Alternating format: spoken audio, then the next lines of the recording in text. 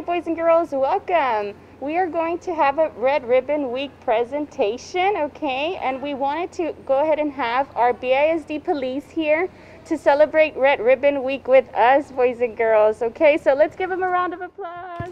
Yay! I'm Mrs. Dina Hosa. I'm one of the school counselors here for those of you that don't know me. And this is Ms. Miranda. Hello, boys and girls. I've been talking to you all this past week about uh, celebrating Red Ribbon Week next week. And we're going to have the different, you know how we dress up? We're going to have the different uh, dress ups every day. Just a reminder Monday is pajama day, Tuesday is team up against drugs. You get to wear your, your team shirt, team jerseys. Wednesday is red day for the whole district. Thursday, you get to wear, it's wild about being drug free, so you get to wear crazy hair or a crazy hat.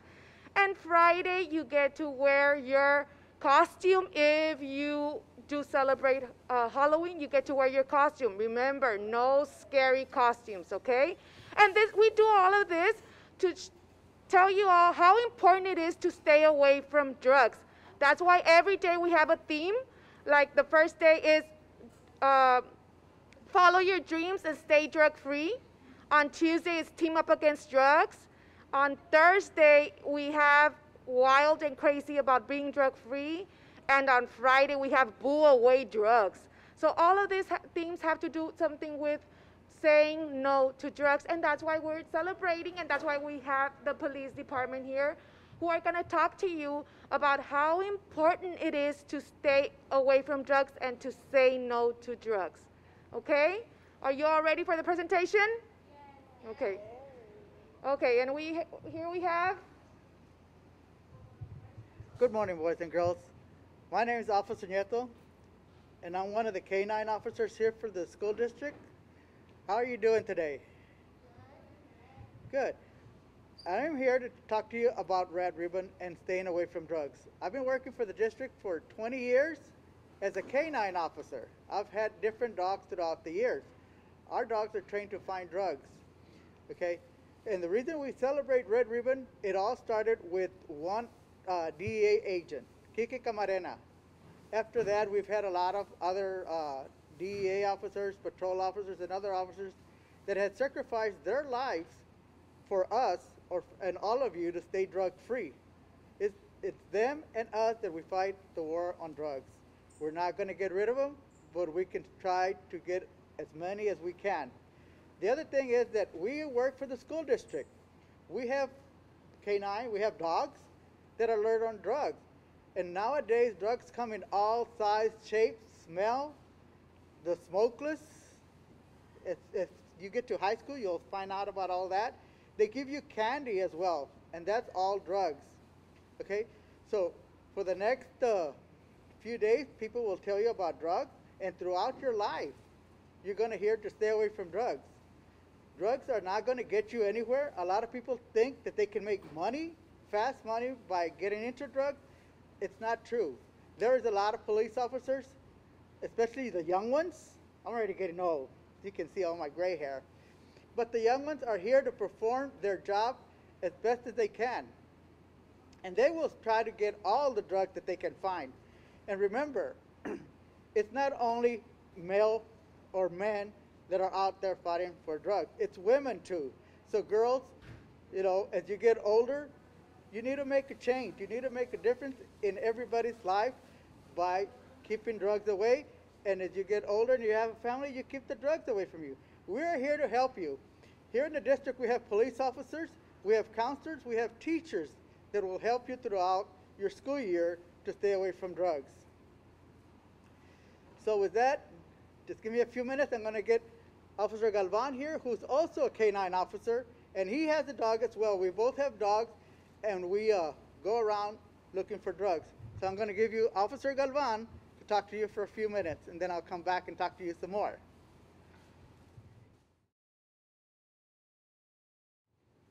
I'm Officer Galvan. How y'all doing? Can y'all hear me? Yes? Okay.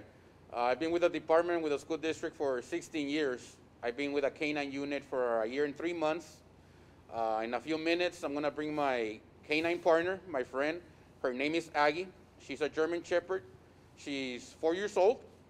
Uh, I've been training for her, with her for the past pretty much year, and uh, she's trained to detect the odors of any narcotics. Okay, like Officer Nieto was mentioning to you, this coming week is going to be Red Ribbon Week. One of the questions that we always ask all our students: What do we say to drugs? No. No, right? Why do we say no to drugs? The what, amiga? It affects your life and health? Correct. That's right. That's one of the main reasons. We always say no to drugs. Why? Because it's bad for your health, it affects your life. What do you do if you find drugs? Go ahead, amigo. Drugs are bad? Yes, they are. What do you do if you come across a drug? Who do you tell? An adult, correct? Oh, yes, you always tell an adult. Unfortunately, there's times that there's been drugs found in our schools, elementaries, middle schools, high schools. The best thing to do is for you all to report it to an adult. Like Officer Nieto mentioned, you have your counselors, you have your teachers, your administrators, your principals, you have security officers and police officers that work at schools or go by your schools to check up on you. Our job is to keep you all safe. That's why we look for drugs. That's why we go with our dogs, check around, because we want to maintain you guys safe at all times and keep you away from drugs. If y'all have any questions, you can ask me a question, raise your hand and ask me a question, and I'll, and I'll answer for you. I said the most important thing for us is to keep you and the staff away from drugs. We go to every level. We go to elementaries. We go to middle schools. We go to high schools. We take our dogs. We run them to make sure that there's no drugs in our schools. Yes, Miguel. What do they find them?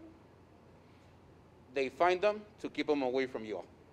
We don't want you all to come across drugs and not know what they are and then give it to somebody or you all take it and it's going to hurt you. Yes. How do the what? How do the dogs find them? They're trained to find narcotics. Right now, when I bring my partner Aggie, we're going to give you a little demonstration. Her odor is 10,000 times stronger than what we can smell. So they're trained to, we train them to find marijuana and other types of drugs. Yes.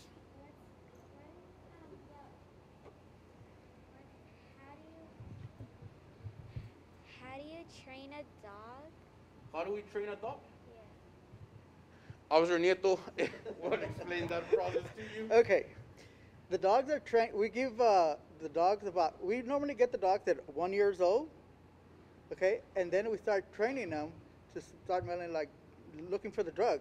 The, the dogs are trained on the actual drug itself, which is cocaine, heroin, marijuana, and meth. Okay, the dogs are, are uh, we start playing with the toy. The dogs are looking for a toy. They want to play. The dogs are like kids. They want to be playing all the time. So we give them a toy and we start associating the drugs with the toy. So they're looking for the toy while we're looking for the drugs. Because remember, the dog's nose is 10 times better than the human nose. So the dogs will. I have put placed drugs here. Actually, I put marijuana in one of these cones. And it's up to the dog in a little while to come in and find the drugs. Now, you have to remember that drugs can be anywhere from um, your medication, not only, like I said a while ago, cocaine, heroin, marijuana, but it also can be alcohol. That's a drug. Beer, liquor, all of those are a drug. Prescription medicine that they give you, the doctor gives you, that's a drug. So long as you take it the way you're supposed to take it, the way the doctor tells you to take it, it's okay. Once you start abusing the drug, it's a whole different story. And remember, the drugs are given to each and every one of us, and it says your name on the bottle. That's who's supposed to be taking it. If somebody else has that drug and it's not their name, then they're abusing the drug because it doesn't belong to them. So you see, a drug can be anywhere from what I said, the cocaine, heroin, marijuana, meth, to prescription medicine, to beer, liquor. That's a drug. That's something that will offset your brain, and if that offsets your brain, then you're not focusing on what you're supposed to be doing. Okay? And that's what a drug does. It takes you out of focus. So if students take drugs in school, they're not going to be paying attention at their work and what they're supposed to be doing. They're going to be paying, their mind's going to be off somewhere else. Okay? And they can hurt themselves or others. And that's where we come into the in place. We have to make sure that everybody is safe. Students, teachers, bus drivers, we go around the campuses checking everybody, not just students. Okay? We check everybody because we want to make it as safe as possible for everybody. So I'm talking about bus drivers, teachers, students. Everybody is supposed to be drug free here. Okay? So we go around checking everybody to make sure that it is a safe place for all of you. And that's how we get our dogs. Our dogs our dogs are dogs, okay? I'm not going to say they don't bite. Our dogs are supposed to train not to bite. Our dogs are trained only to find drugs. And we'll demonstrate in a little while. And uh, his dog is a what you call a Belgium, a Belgium, a Belgium, okay? So he'll come around. He's a 10. No, he's got the German Shepherd. It's a black German Shepherd. He'll come around and smell. The dog will normally, if I tell the dog to smell low, he'll smell low, medium, or high. Okay? You see, if there's something hiding here in the city, like let's see that opening right there. So we get the dog to smell right here, and he'll sit down and be looking up there. Okay? Because in the restrooms, as you get older and you get to high school, kids hide drugs up on top, thinking we're not going to check the top. We go around the schools checking everywhere. Cars, the inside, up, down, their cars. If they take cars to school, we check their cars. And the teachers' cars. Once you're on BISD property, we can check everybody or everything that's in there. You have a question? You keep on raising your head. I'm sorry.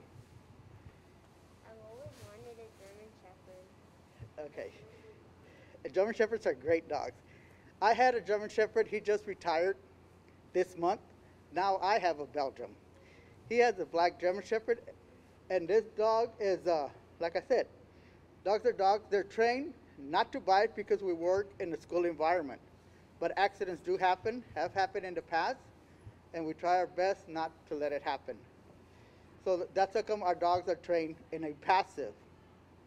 When he comes, he'll sit down or lie down. He will not try to scratch. He will not try to bite it. He will not do any of those things because that's showing a little bit of aggression. And we try our best not to have aggressive dogs. Okay? Any questions so far? Are we doing okay? So remember, whether you're here or at home, you know, stay away from drugs. We check as much as we can here at, at our campuses. And like I said earlier, we do check our elementaries, the middle schools and high schools, and all the parking lots throughout the district. Now, this dog here is a female German Shepherd. Her name is Aggie. She should be three years old by now. So the dogs do pay attention. He tells them to sit while I'm going to be talking. The dogs are, like I said, very calm. Here in the district, we try our best to make sure that they do not try to bite anybody, to behave as much as possible. But remember, we are here for the drugs. Now, the other thing is, if there was drugs in one of those cones, and I take the drug out, the odor stays there. The dog will still hit on it, will alert on it. So that gives us a reason from that point on to be careful and be looking for the drugs. So remember what I said earlier? The dog gets a reward, which is a toy, a ball, something to play with after he finds the drugs. He's going to demonstrate by starting with that red cone, coming to the other cone till he finds the drug.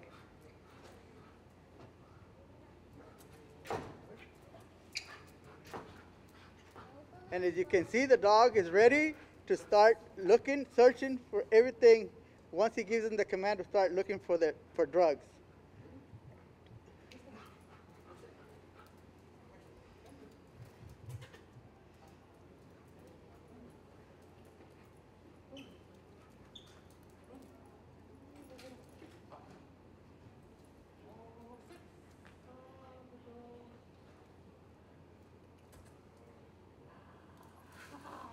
Okay, you saw the dog as it was coming around. He was smelling it, didn't see anything. Then he bypassed that third cone, but he smelled it and turned around and went back. That is something that the handler, the police officer, should recognize that his dog is trying to tell him something. I mean, we don't depend on the dog just to sit down. Sometimes the dog will just look at us and stare at us. We have another dog that's a black lab that belongs to Officer Davalos. That dog will just start hopping up and down. He will not sit down. He hops up and down, letting him know that there's drugs right there in that area. Okay? So Aggie has been with the department for two years, and Officer Galvan has been with the department, I mean, as a canine officer for two years. Okay? So I'm the one that gets, I'm one of the ones. Officer Davalos is the other one. We get the dogs we train our own dogs. Here at BISD, we train our own dogs, and they're less expensive. Each one of these dogs that are called green dogs to the district, they cost $5,000.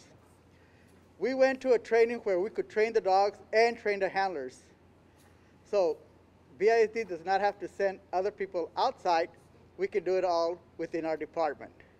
Okay, now let's go back to Halloween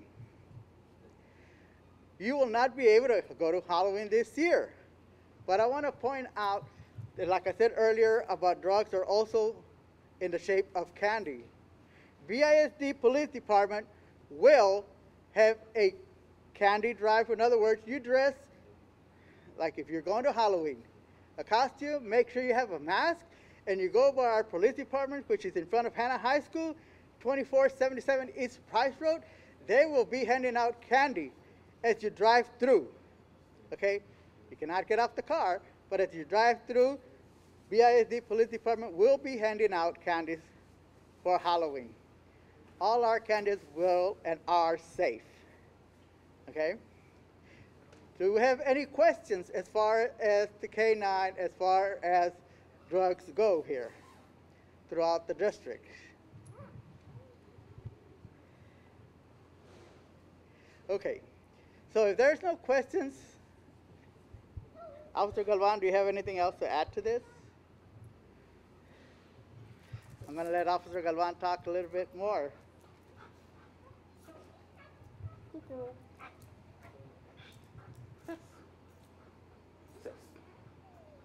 That's, that's Cooper.